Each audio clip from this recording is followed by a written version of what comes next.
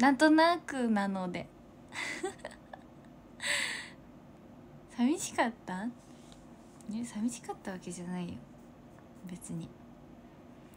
別に寂しかったわけじゃないし。こんばんは。なんかさっき2時間くらい配信してたよ。やばい。暇なのバレる。えさ聞いてたよ。ありがとう。よかった。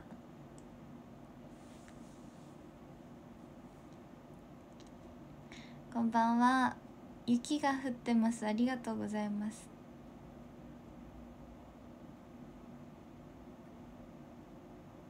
こんばんは。はい。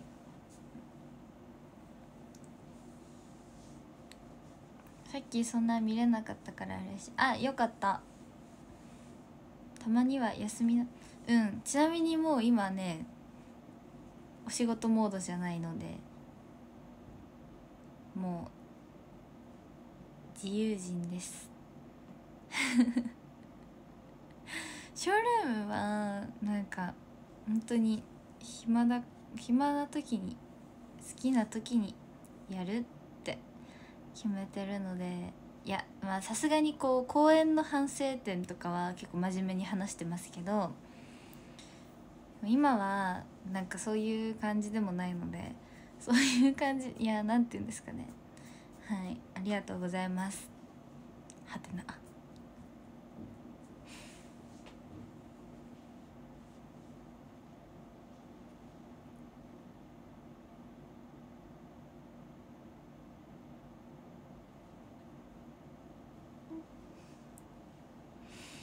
い や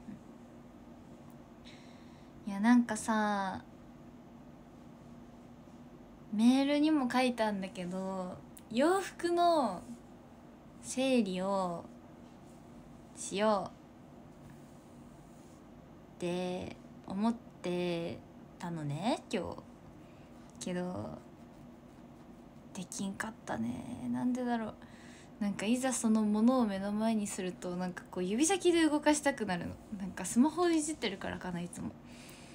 なんかさなんでさ指一本で動かせないんだろうって気持ちになるのわからない？なんかこう一個一個ハンガーにかけたり畳んだりとかっていうじゃなくてなんか人差し指でなんで動かせないんだろうって。スマホのこうゲームとかだったらさ多分さ人差し指で動かせるじゃん。こうクローゼットの位置とかさ。部屋のこう家具の配置とかも。でも現実はそうはいかないの。いやなんかこれはスマホ依存症なんですかね。とはちょっと違いますかね。分かんないけどなんかちょっと分かんないですね。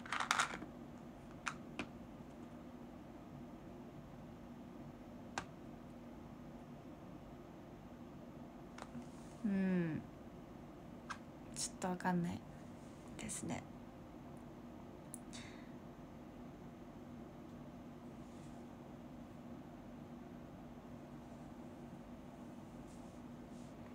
こんばんはこんばんは。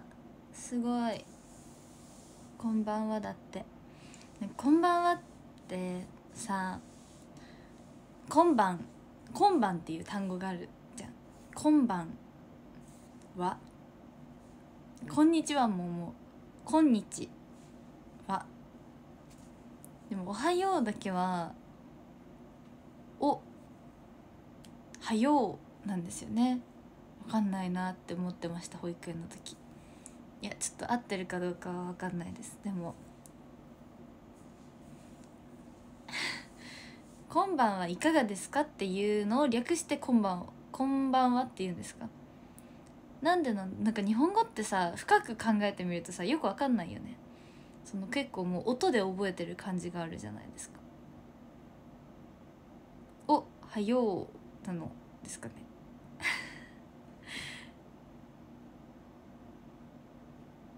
そうそう「今晩はいかがお過ごしですか?」っていうのを「こんばんは」ってでも別にさそれ「今晩はいかがお過ごしですか?」ってさ言われてもさ「こんばんは」に対してさ「こんばんは」って返すじゃんだから「今晩はいかがお過ごしですか?」「今晩はいかがお過ごしですか?」ってこう言い合ってる状態誰もその「いかがお過ごしですか?」の質問にこう答えたりはしないみたいな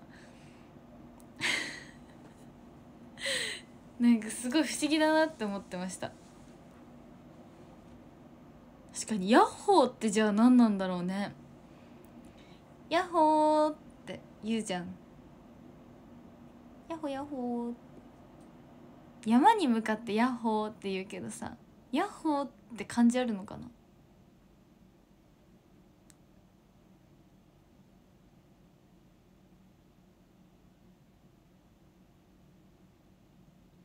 ヤッホーは日本語じゃないんだ。あそうなの？英語？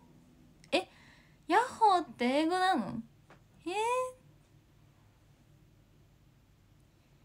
ー、Y Y O ややは A かやえ山山イヤホーってこと？イヤホーすごい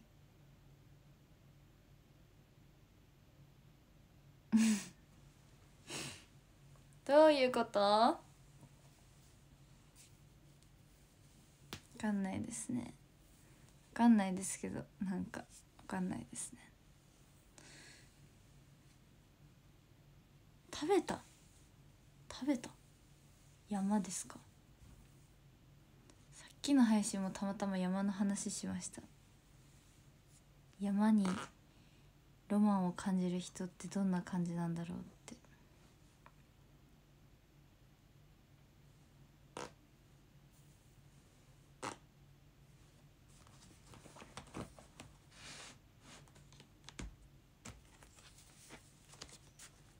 山好きなの？あいやそういうわけじゃなくて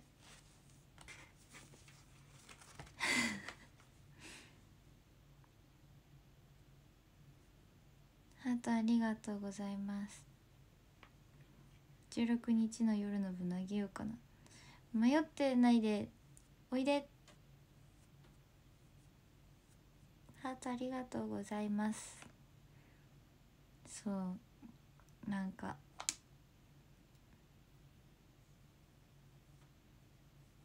メールが届いたよ。あメールが届いたそうです。よかったです。無事メールが届きました。ハルルンメールが届きました。ありがとうございます。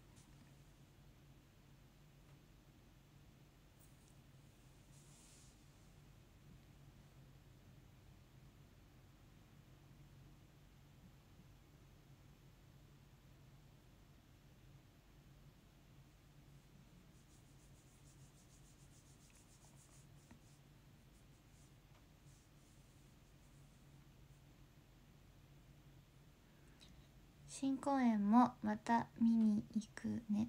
うん。来てね。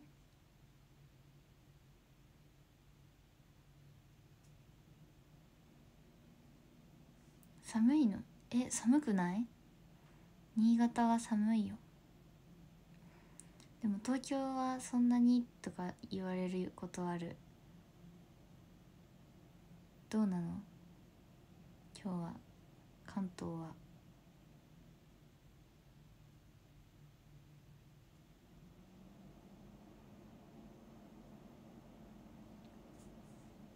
寒い。寒いって。東京はそうでもないね。あそうなの？そんなに寒くないってこと？ちょい寒？今日はまだあったかい。あそうなんだ。雨降ってる。そうなの？新潟は寒いね。新潟寒いですよ。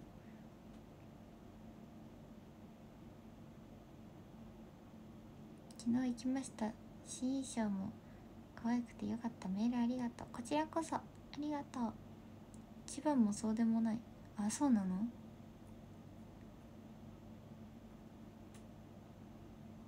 まだ新潟は雪降らない。なんか一回降ったっぽいけど私は出くわさなかったですね。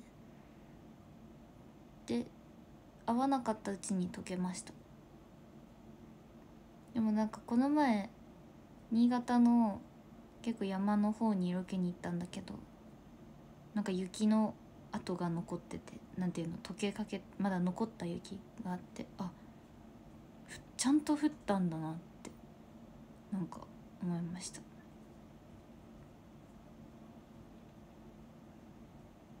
そうでもその1回から多分そんな降ってないと思う。なんかだから初雪見逃しました。寂しいですね。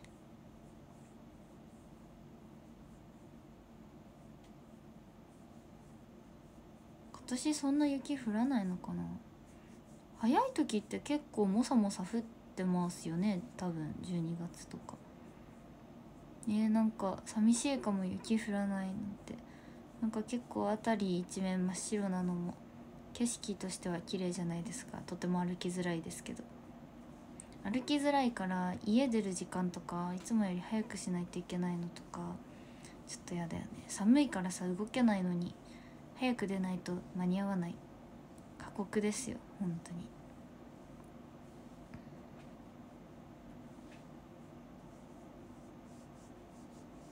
あと足先手先冷える。本当に先っぽが冷えがち。だから寒いです。なんかも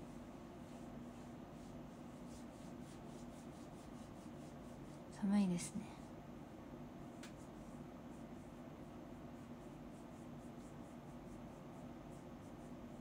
末端冷え性ねなんかさ末端冷え性じゃなかったら何冷え性があるんでしたっけ？いつも思うんだよね。いつも聞いていつも忘れちゃう。末端冷え性っていうこのまずこう漢字があの最初思い浮かばなくて。末端っていうのはその先っぽなんか尻尾みたいな感じだけど先っぽまで冷えるのが末端冷え性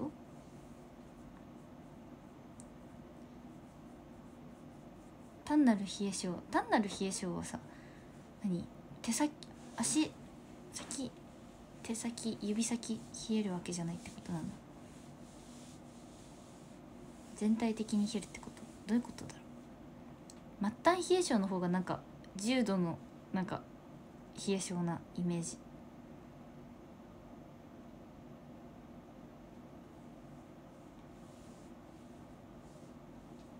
えー、寒い。もうほんと足首とか冷えてる。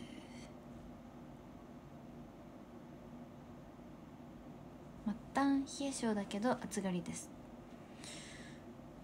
夏は暑がりってこと？それとも冬でもその末端冷え性の私たちにとってこうストーブとかお布団とかって味方じゃないですか？その味方の優しさを振り払ってしまうってこと？せっかくこう手を差し伸ばしてくれたその手を振り払うってこと。どういう感じですか？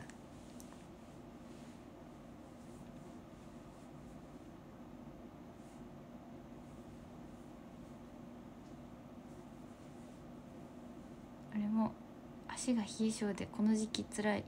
かわいそう。涙マークの絵文字ついてる。かわいそう。かわいそう。なんで笑ってんだろう？ごめんね。そうだよね。本当に辛いんだよね。末端冷え性ね。そうだよね。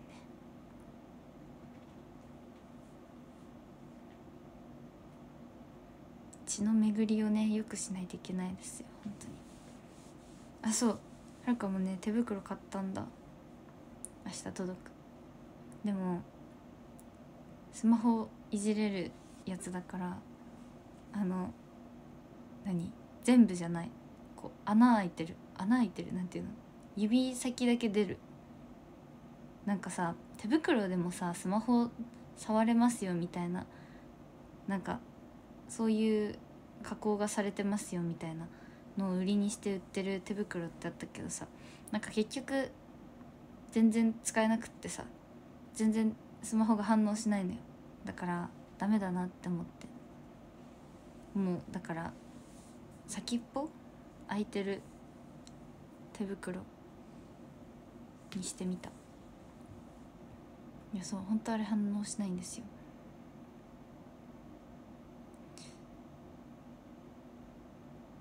足首寒い。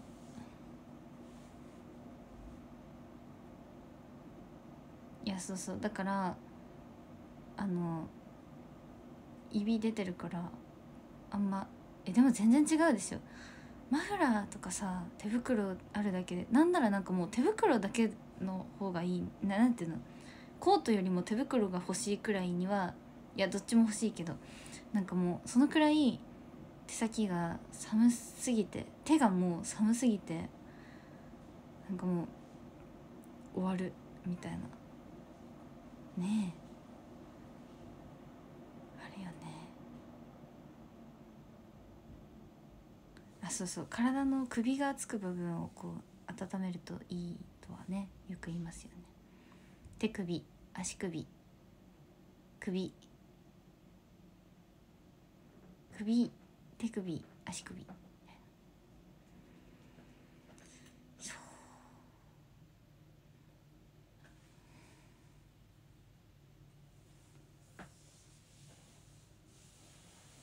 そう。乾燥もするし。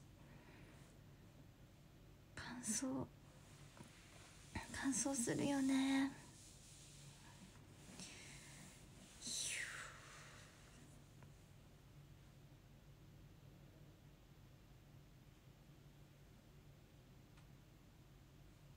ハルルはなんでそんなにチャーミングなんです？チャーミングって何ですか？チャーミングって猫に使う言葉だと思ってた。最近の子はカイロ使うのか？私カイロ使うよ。カイロ好きです。いやカイロ使うよ。今ポキちゃんがはるちゃん呼びについて話してえなになになに聞きたい聞きたい聞きたい。聞きたい。え何と言ってるの？ゆうなちゃんがはるかのこと話してるの？昨日話したんだよねゆうなちゃん。なんか一緒にお弁当食べた話。かわいい。嬉しい。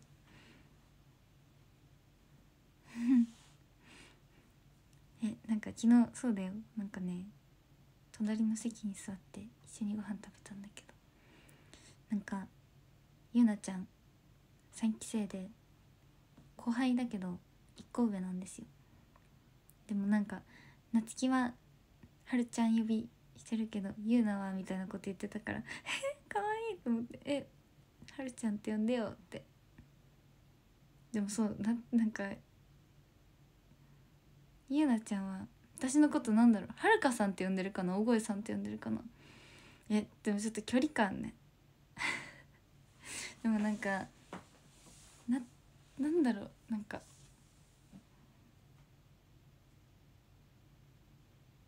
そうそうなの？ゆうなちゃん。もうなんか本当に話しかけてくれて嬉しい。本当に話しかけられなくって。これもう何度もなんかねこの前4期生の子がねいた時もねなんかななみとかめっちゃ話しかけるの。だしなんかもうサーヤもびっくり。なんか「ヤッホーサーヤだよ」って言ってた。話しかけてた。びっくりした。え？私本当にもう一言も喋れなかった。スタッフさんが私がたまたま通った時にその4期生の目の前になんか「あこちらが大声さんです」って言って「あえっと2期生の小声はるかです。よろしくお願いします」本当もうこんな感じ。やばいやばいあ小声はるかです。よろしくお願いしますみたいな。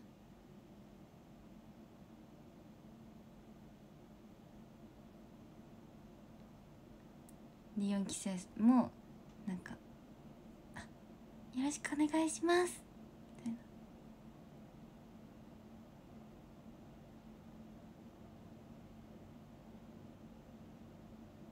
え怖い？ええ怖いって思うの？これ。え嘘嘘全然そんなつもりないんだけど違うの？もうなんか逆にこうなんていうの？なんかもうなんて言ったらもううんなんか本当に。え違うの？なんかねいや私の方がもう怖いっていう感情というかまあなんかでもやっぱドキドキしちゃうんですよね。後輩というかなんかその新しく初めましての人。もう本当になんか何事もそう新しくこうお世話になる現場に行く時も初めてこう共演者の方とお会いする時もなんか心の中ではめちゃめちゃ喋ってるんだけど。なんかあなんかあなんか優しそうな人だなとか。あなんか結構面白い感じの人なんだなとか。あ向こうも結構緊張されてるなとか。あえすっごい怖い感じでこっち見てるなとか。なんかいろいろただただそういうことを心の中で喋ってるんだけど。あのっていうのをこういろいろしてあとりあえず無難に挨拶でも「あ小越はるかです。よろしくお願いします」はい。みたいな。なんか自分から鬼気まずい空間を作っていってる気はすごくしますね。すごい。なんでなんなんだろうね。えー、わかんないです。それはもう。うん。なんなんだろう。だからな結構ガツガツ来てもらえるとすごい助かります。逆になんか投げられた球を返す方が私は得意で。自分からその球を投げれない人なんですよ。そう。なのでなんかめちゃくちゃ失礼ないじり方されする後輩がいてくれた方があでもちゃんと失礼ないじり方をしてるっていう体でね失礼な言い方をしてほしい。なんて言えばいいの？そう。え全然なんか何でも逆に何でも受け入れられちゃうからぐいぐい来てもらった方が私はなんかやりやすくてありがたいんですよね。逆になんかその私えーなんかどう言えばいいんだろうね。なんか多分その頑張ればすごいグイグイ行く来る先輩にもなれなくもないと思うんですけどでもそのなんかガツガツ行く自分が本当の自分じゃないのにちょっと頑張ってそのガツガツ後輩に行ってみてその緊張してる後輩ちゃんたちがなんかしらけた感じになるのが一番辛いじゃないですか。なんていうの？そうなんか結構私がすごい頑張って「ヨーヨー」って話しかけに行って「」みたいな感じでなんか言った方がなんかこう本当の自分でもないのになんかしらけちゃったみたいな一番辛いなって思うのよ。あだからって思ったらなんかもうどうしたらいいのか本当に。ね。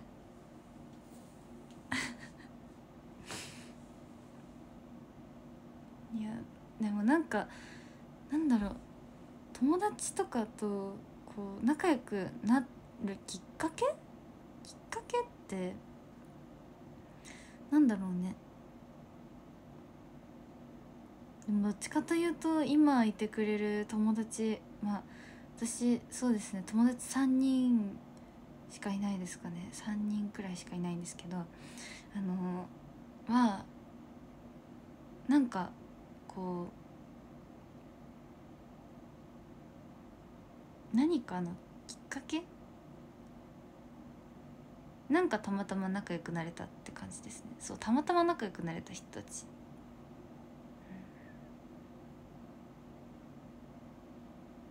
そうですね。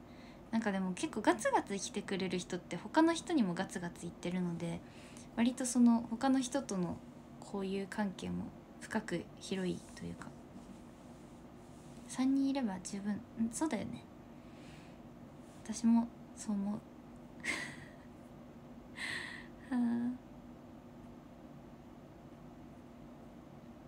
あでもなんか友達は増やしたいですね。本気で思ってて。これもうね2年くらい前からずっと言ってるんだけど今が一番本気で思ってる。友達増やそうと思ってる。増やそうとは思ってるんだけどじゃあどこでとまではずっとできてないので。何人欲しい友達？えそうだな。なんか何人欲しいとか。うん。えー、あと5人くらい増やしたい。やばいね。倍以上だね今の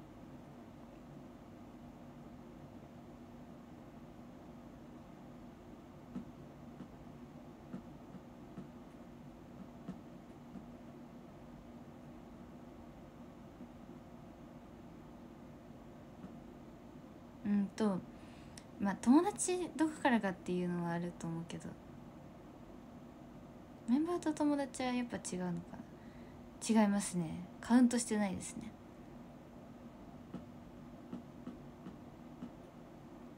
うん。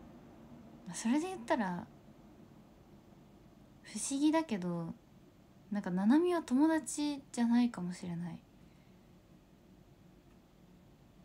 いや友達じゃないかもしれないって言ったらめっちゃなんか突き放したような言い方に聞こえちゃうけどなんか全然そんなことなくて。それはあのなんだろうな。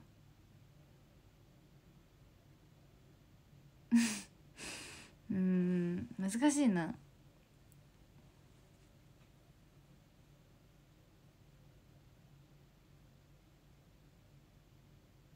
そうだね。同志みたいな。確かに。そうかも。そうそうですね。あ青は友達。そう。青はもう完全に友達。確かに。リリカは友達かも。リリカ友達だね。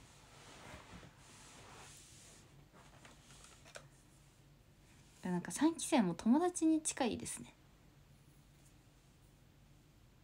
ゆうなちゃんもなつきちゃんも友達です。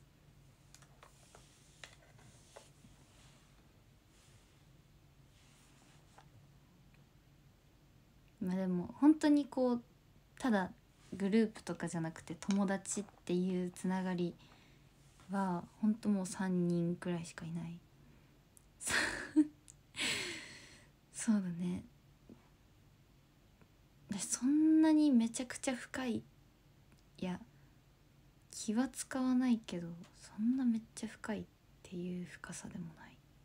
え悲しい。いやいや違うのよ。なんかそれぞれみんなやってることがあるからさ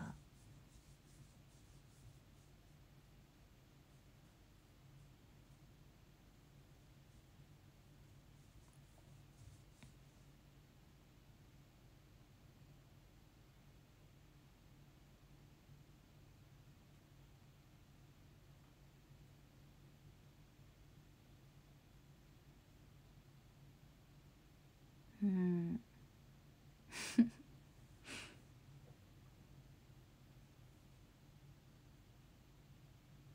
あでもこの前その山にロケに行ったって言ったんですけど、まあ、バズタイムズのロケでしてあのバズタイムズのロケでは本当にあのね本当にいい出会いがたくさんで素敵な方々と出会うんですよね。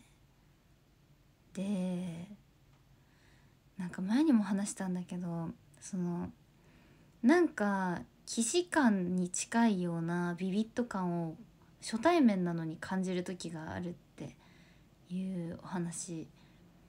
なんかビビッドとはまた違ったんだけどなんか出会うべくして出会った人な気がする人と出会っちゃって私。そうなんですよ。ちょっとまたバズタイムズの放送を見てほしいんですけど、まあ、ちょっとその中では絶対その話は使われてないんですけどなんかえ？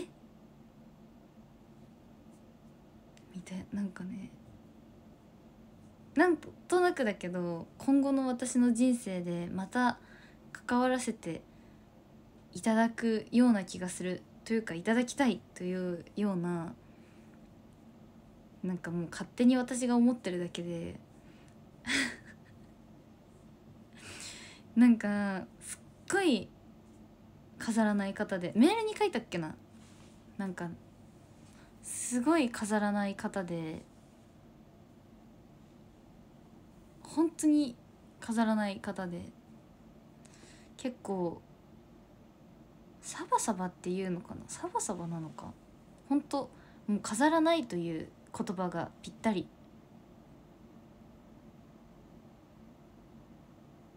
で多分ご本人本当気づいてないけどめちゃくちゃ可愛い。そう。うわ。なんか。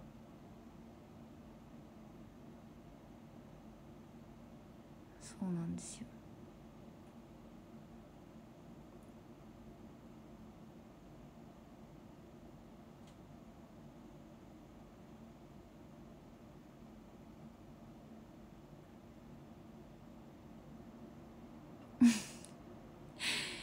いやそうなんですよね。なんか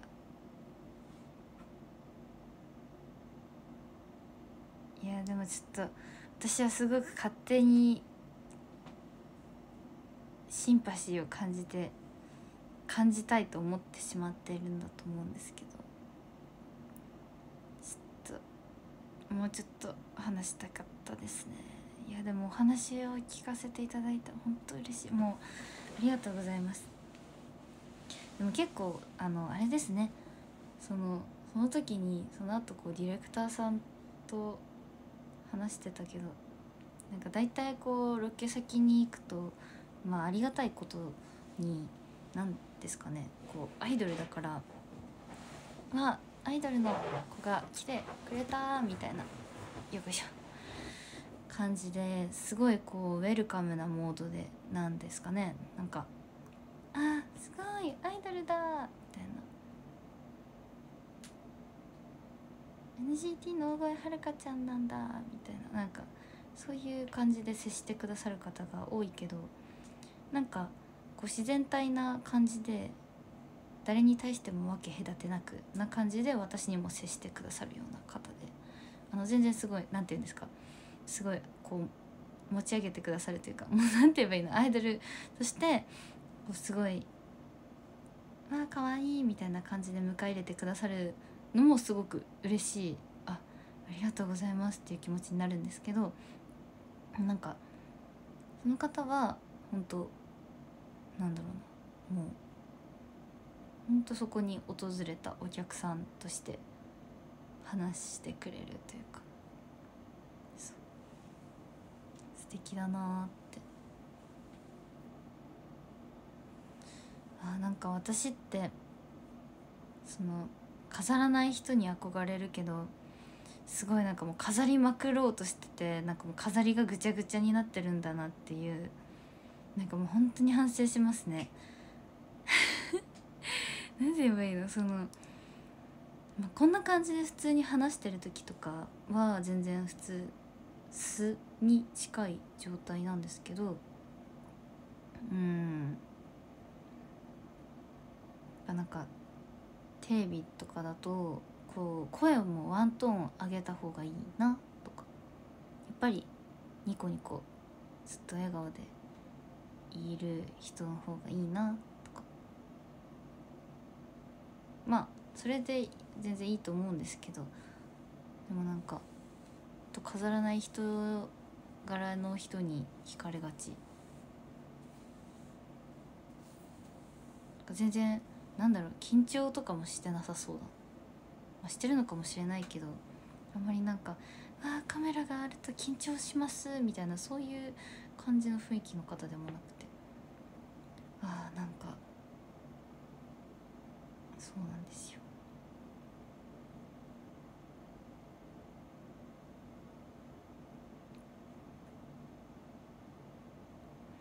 まあねあのー、ちょっとどうかわかんないですけど。ちょっとどうかわかんないですけどってなんだろうな。まあそんな素敵なバズタイムズでの出会いもあるよねっていう感じです。そんな感じです。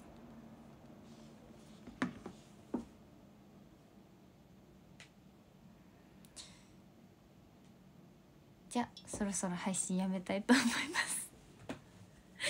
急にやめるじゃん。えー、あいやまあねなんかみんなそろそろ寝るかなと思って。うんと13位田沢さん12位安太郎さん11位もっともっと秋もっとさん。10位親秋さん。9位 J さん8位いかっちさん。7位まさひろんさん。6位みつおきさん。5位マーチさん。4位おしょうさん。3位ゆららさん。2位ぴょんぴょこぴょんさん。1位ひよぽんさんです。ありがとうございます。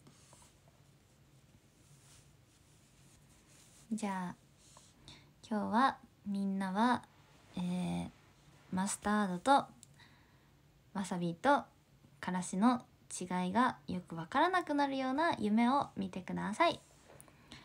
じゃあおやすみなさい。